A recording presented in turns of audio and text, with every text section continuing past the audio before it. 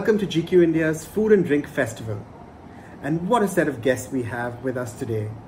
They're both true pioneers, entrepreneurs who saw an opportunity and took it, riding India's great lifestyle boom.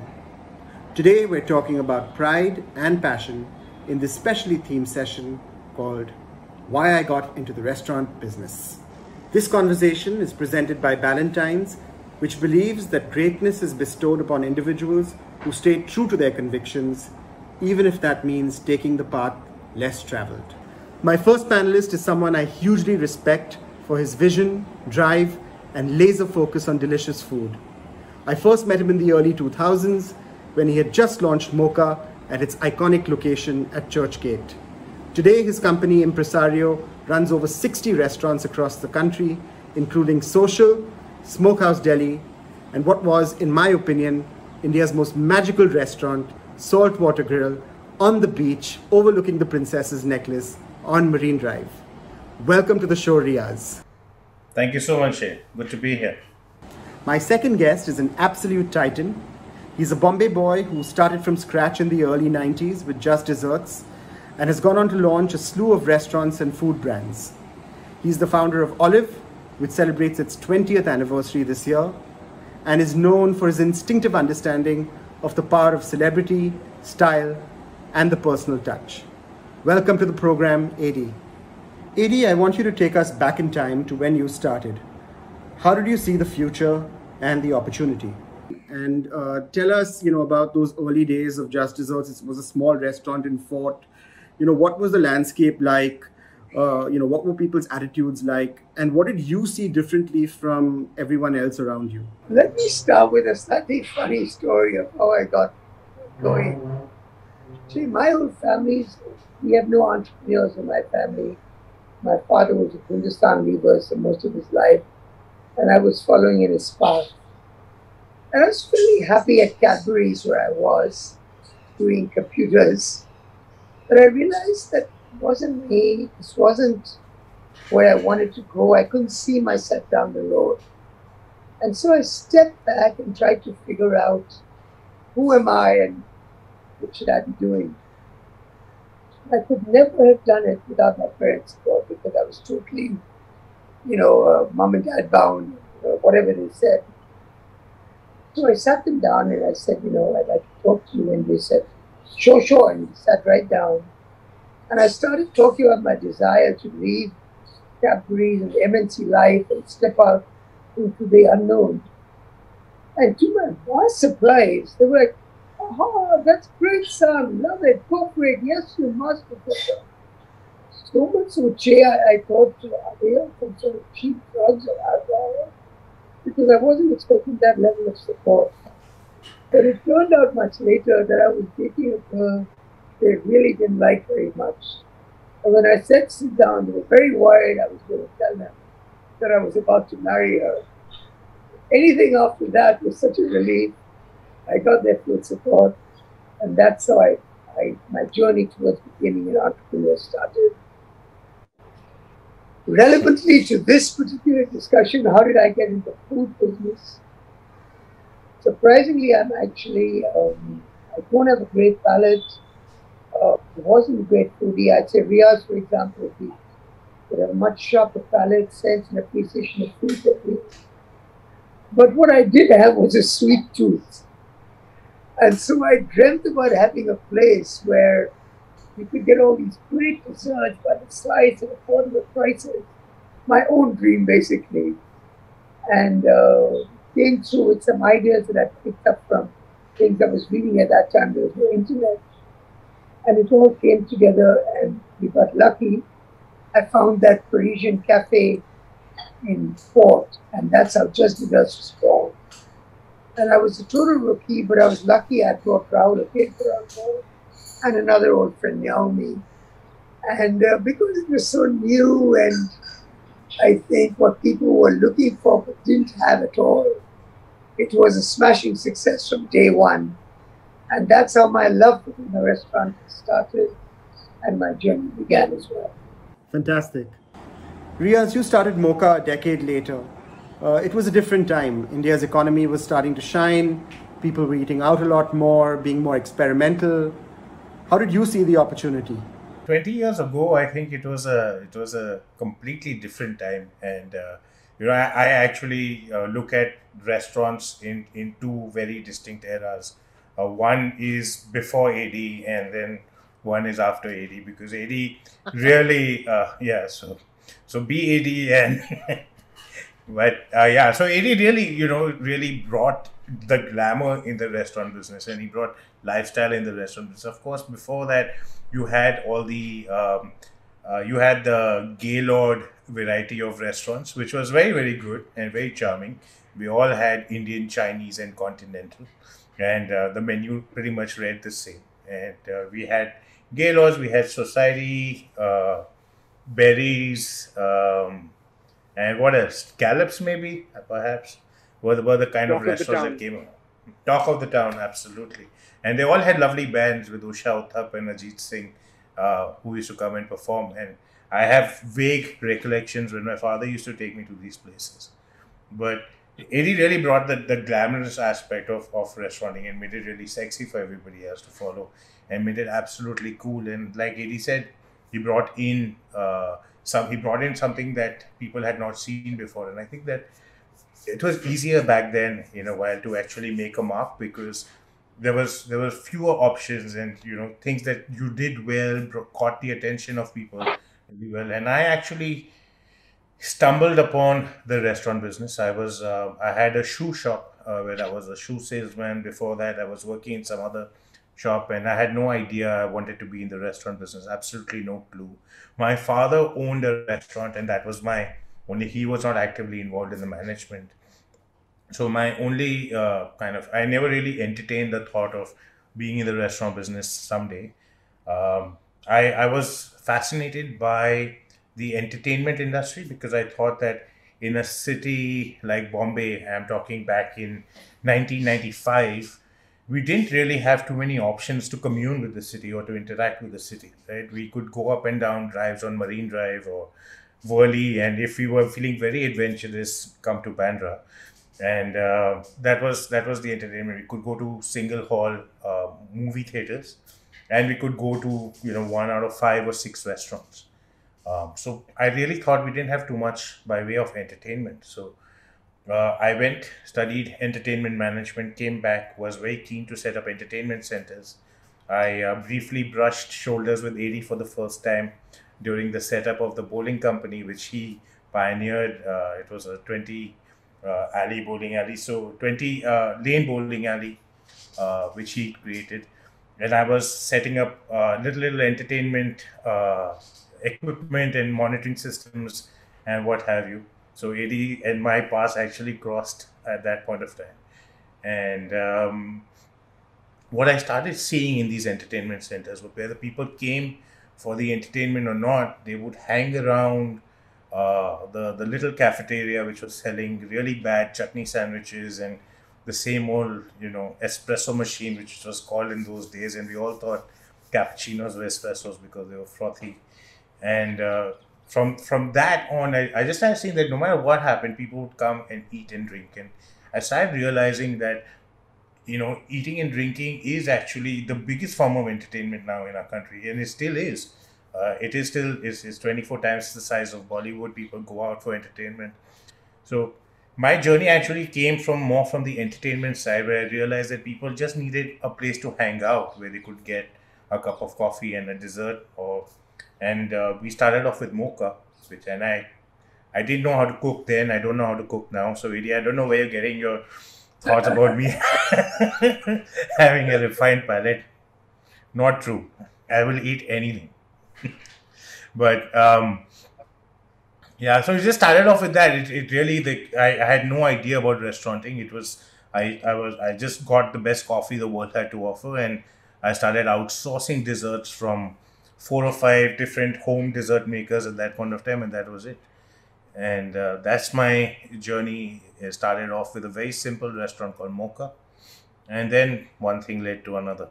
AD, I'd like to talk a little bit about Olive. As an idea, it anticipated many things uh, the growth of Juhu and Bandra, the rise of the entertainment industry, a nascent celebrity culture. It was the place where movie stars, socialites, designers all came together. And it all felt so fresh and new. And you were at the center of it all. You were the master of ceremonies. What are some of your favorite memories? if I shared all my greatest memories, I'd probably be sued. The show wouldn't be allowed to be aired. You have to realize that three hours of it was also fresh that time too. You know, we so everybody really very natural let it all hang out, and uh, it was much more innocent uh, through the early days. Um, so of course, you know, most of the the biggest stars that rule Bollywood all live in that area and then have now moved even further north because that's where the studios and the work is. And they, because of who they are, where they've traveled, uh, the sort of earnings they were very sophisticated, had a certain level of palate, etc. And for them, they really wanted experiences like they were seeing all over the world. So when Olive came along, it was a natural hub for them, and everybody used to, uh, you know, almost live there for the first few years. And of course, many funny stories from there. As I said, some I can't repeat, but a couple of them. Um, one was when Rishi Kapoor's son came back from studies, Rishi introduced him to me. He used to be there, I think, most Sundays, uh, he and Mandir. And he introduced his son who's come back, wanting to get into Bollywood. And I was thinking, what a kid, how's he ever going to make it? And you know, our Thursday nights at Olive are legendary. And a Thursday or two later, Ranbir was uh, at the, and he was hanging around. I don't want to name him, but one of the biggest stars we have now and had 10, 20 years ago. And that star didn't know who he was. So he finally got irritated, picked him up, and was about to put him into our fish pond. When his brothers, who happened to be there as well, came running, I said, Stop, stop. He's Rishi, some phrase there from Rishi Uncle's son. And so, you know, he stepped back and dusted the Ranbir off, went to meet Rishi the next day. He gave, I think, a, very good quality watch as a present to make up. Uh, and that's really how Ranbir in his early days got going and, and met everybody. Rishi still laughs oh, when we last met shortly before. We still had a good laugh over that memory. The same star was wooing uh, an actress who moved here, who's still one of our biggest and loveliest actresses. And one day, apparently, they were fighting. And so she came in with the girl pal center table. He came in with his guys at the bar. And after a while, Jane, he started to whirl like they do in the movie. So he put a rose between his teeth and he's dancing in front of a table, smiling, dancing back, smiling. The entire restaurant is gobsmacked. You know what the hell's going on? Her girl pals are giggling. And so after a bit of that, it broke the ice. But it was uh, remarkable to see that. Also, if you remember, this was actually widely circulated. When Hrithik first came out and became fairly big, there was a lot of media, I think unfairly, creating this huge, uh, you know, competition between Shahrukh and Hrithik and how they can't stand each other and he's taking his space, blah, blah, blah. Few nights later, Shahrukh's dining at a table. Hrithik walked in.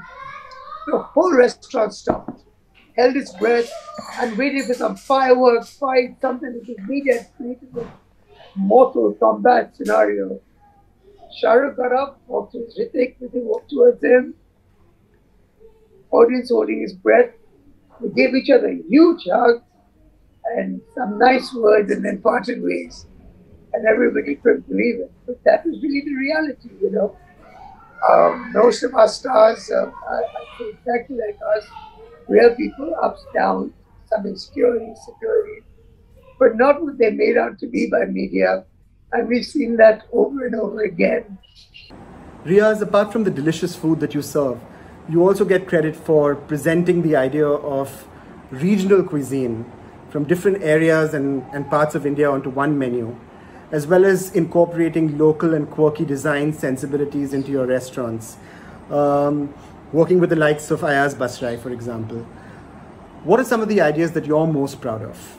So I think uh, you know along the way we kind of realized it took a while for the Indian consumer to really show himself or herself uh, to us restaurateurs. Right? We we always have a, a perception of a vibe of a restaurant, but we kind of tend to forget uh, what we really enjoy and what our, real, our, our palates really are.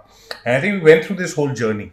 Uh, Indian food was not sexy uh, a long, uh, you know, when we started off. It was almost, uh, you, you thought about Indian food, you thought about butter chicken, and you thought about dal makhani, and you thought of naan, and you thought of heavy, you know, non-date food. I mean, come on, you can't take a date to uh, because you know after that there's no chance. So. Um, so you know as, as a precursor to the evening uh, the restaurants tended to be you know european in nature to begin with uh, and then they kind of started moving slowly slowly oriental to consume first but indian was really the last to kind of become sexy and you know i i, I uh, many ways thanks to the efforts of uh, uh, Manish Mehrotra and what indian accent was able to achieve I think uh, you know, and and of course Gaggan in in Bangkok and so Ama winning Michelin stars in London. Slowly, slowly, you know, Indian food really came back into uh, into the cool quotient, right? But you have to also be mindful because you're creating a trend. Uh, you don't want to start off on the wrong foot. Uh, social, we I really the thought was really when we were creating Mocha was the same. How do we create a place where people can hang out and just and not not at any particular time. It can't be related to lunch or dinner. It has to be morning. It it can be evening. It can be late evening, early evening, and even after dinner. You know, how can a place be relevant? So for, for us, our real focus was coffee shops and cafes because we really believe that that is it can can be more a part of your daily lives. So cafes were always a number one focus for us. Mocha was about coffee and conversation, and we used to try and say that we want to create a space conducive for conversation and conversation being the main offering on our menu. And uh, i think me and ad both uh, i think kind of uh, agree on that that you know the space is even ad is all about laughter and sangria and, and conversation. And for us also it was about that. And i think that as the generations changed from mocha where, where we went from catering to gen xers uh, and to, to a completely new generation which was looking for a completely different cafe experience. I think social came about. And I think the generation flipped at that point of time, and it was more about people rediscovering uh, who their, their identities uh, you know in a way that they were almost proud of their identity and not ashamed of it and i think uh, our gen xers went on for a very long time period you know hiding our indianness in a sense and i think that we really now come to a point where we've come to appreciate all that we offer and we, we've come to realize how sophisticated and evolved our palates were. Earlier, we were kind of disparaging towards our palates. But I think now we realize that our palates are way more sophisticated than some of the best chefs in the West. Like, I am always marveling at my mother's ability to, from 32 different spices, say, ye kam. You know, and it's, it's amazing. To, it's mind boggling to be able to think like that. So, uh, our ability to deal with so much different spice and get the balances right is, is incredible. So I think that uh, we came about at the right time. So yeah, you know, social is something I'm very very proud about. Um, I I also love Prithvi Cafe. Uh, you know, a lot of people don't know we run that space, but uh, we managed to try and keep the soul alive of that space even after many many years. It was started off with Prahlad Kakkar, I believe, and made made this Irish coffee famous. Uh, and and still today we have you know uh, people rehearsing their plays. You know, suddenly suddenly your your guy sitting next to you on your table will get up and start screaming, and then you realize he's only reciting a line from a play, uh, and we. we'll still have a flautist coming in uh, most evenings, and people sit around with their chai and glucose biscuits and and four square cigarettes. And I think there's there's still something magical about those places. Um, Another place which I had created, which I was very proud of for, for myself, was a restaurant called Smokehouse Room in Delhi, uh, which you know, it was it was uh, it was show offy and it was a little bit of a cathedral to my own ego, and uh, it didn't do well at all.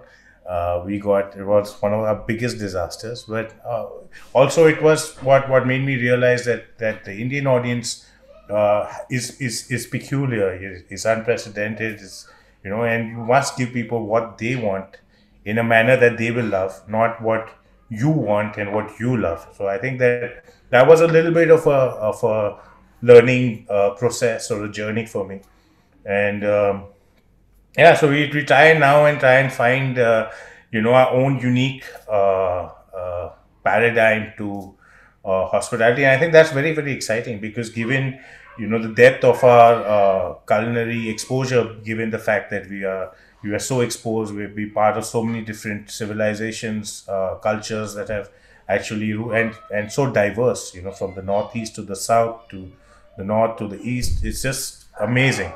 I think that um, it's an exciting time for Indian restaurateurs, and I think the world is ready now for uh, the Indian brand of restauranting. Actually, I want to add to what Riyaaz was saying.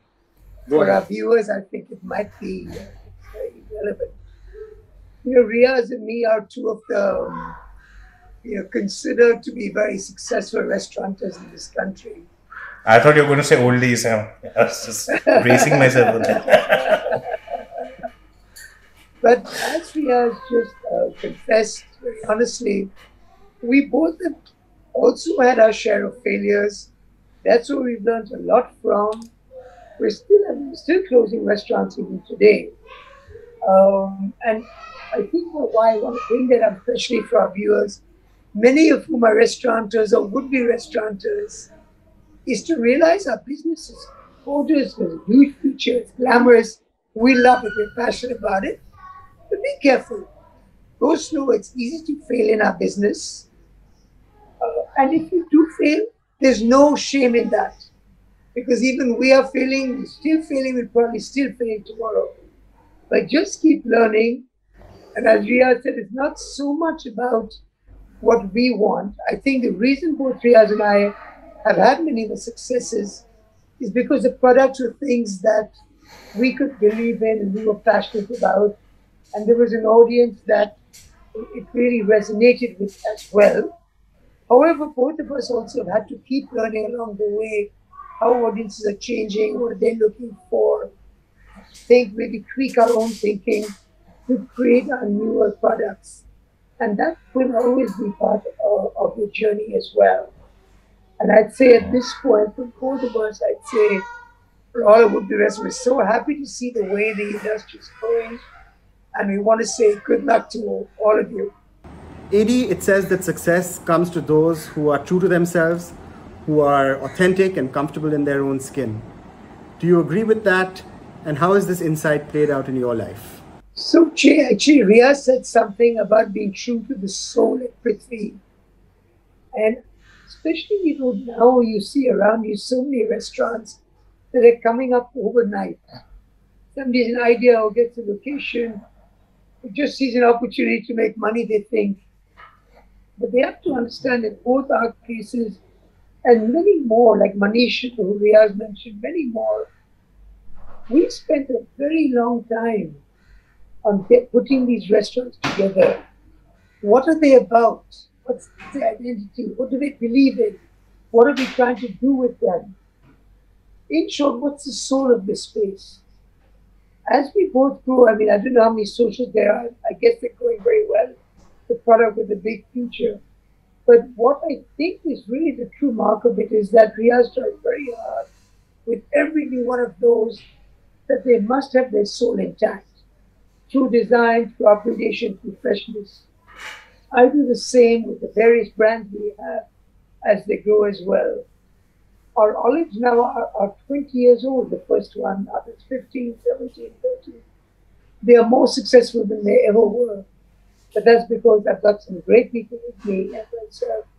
We work very hard in keeping them true to why we started them, what they stand for, what we believe in. If you don't get that right, a customer could go anywhere else.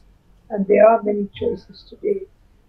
So in response to what Che is saying, be clear what you're trying to do, try and deliver that as well as you can, and then stick to that. It's really for to walk into a restaurant that's trying to do everything, play all sorts of music, serve all food, etc. I think what's your USP, mate? How long will you be able to last like this? You can't only last by trying to get the cheapest this or the cheapest that. So I think authenticity, vision, time to get your product right is very, very important in this marketplace and will continue to do so. Riyaaz, I want to bring you in here. Um, you know, the restaurant business is about trends and trendiness and what's hot. Uh, but I want to ask you the, the importance of heart, of instinct, and sometimes going against the grain. Um, first of all, shout out to AD because 20 years for a restaurant now is just, it just, it blows your mind, right?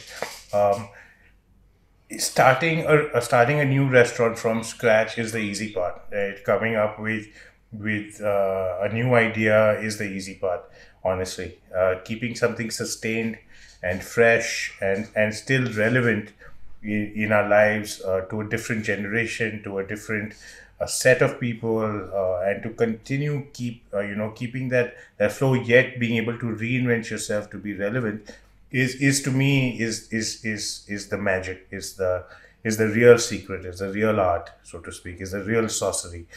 Uh, and uh, i think it what AD does really really well is when he makes a restaurant it's, it's very deep right? And when i say deep i mean it's stacked deep which means that the right from uh, when you enter in uh, the first smell that you get the first musical notes that you hear uh, from how your footsteps feel on the gravel to uh, you know how the, the, the tables feel to your hand. So every every bit of this tactile experience or things that you can see or hear or smell it kind of stacks up into this one really coherent offering you know which is which is what what i think good restaurants should be. You know they're all like a notes of a chord they all have to resonate in the same frequency. You have anything that's off immediately the customer catches on whether he knows it or not whether he he's able to enunciate that or not, he will feel it, right? So the you the ability to create restaurants which have real uh, soul, real depth. I think that's the secret. I think for a for a restaurant that lasts really really long uh, in this business. Uh, when it comes to having trends, I I really believe that when you're creating a restaurant, you really have to choose uh, who you're talking to, and why you're talking to them, and why you're relevant in their lives what is the role that you will fulfill in, in their lives? Right? There are some restaurants you go to to feel elegant. Uh, there's some restaurants you go to feel sophisticated, right? There's some restaurants you go to feel warm and gooey, and there's some restaurants you just want to go and pig out, and some restaurants you want to wear your best Sunday best and go, and some restaurants you want to go in your your flip flops and your pajamas and your your and I think that having uh, you know trying to be true to that particular mood space is very very important. You have to be very very clear i'm I, this is the mood space which i am going after right? because your where decisions that people make when they go to a restaurant is very mood oriented aaj uh, indian khane ka man hai. I feel like chinese today. I want to have a beer and a burger today. I want to dress up really nice and i want to go to a nice place today. Uh, i want to go to relaxed place you know just just just have a chat with my friends. So that that is the mood space that your restaurant really has to own and communicate and and keep refreshing itself on the similar lines. So i think that um, when i was starting off uh, ad uh, and Rahul Akerkar uh, were, were my big inspirations. And uh, like many other yeah, you know people i i borrowed uh, freely from them until I started, you know, creating my own voice and started having understanding the business a little bit better. And I think that that's also what I've seen the journey of many young restaurateurs as well. Uh, they, they do tend to borrow from things that have been successful, but and if they're able to survive, uh, you know, this this minefield, then they're able to start developing their voices and start emerging as better and better restaurateurs because it, it takes a little while to hone your craft and to truly come into your own uh, you know brand of restauranting so to speak or you have your own brand of craft uh, uh, which is evolving. And i think that restaurateurs have to manage many balls in the air uh, from making sure you know every day is a theater every day is a performance. You can't you can't afford to put your your you know can't afford missteps. You have to train you have to supervise on a daily basis. But at the same time you have to be very clued in to the contemporary culture and at least for me you know as i grow a little older i find myself a little bit more removed from uh, the millennials and now uh, the, the the new generation, the Gen Zs, uh, so to speak, the Gennies. Uh, you you start moving away from that, but you have to stay relevant. You have to understand what they want.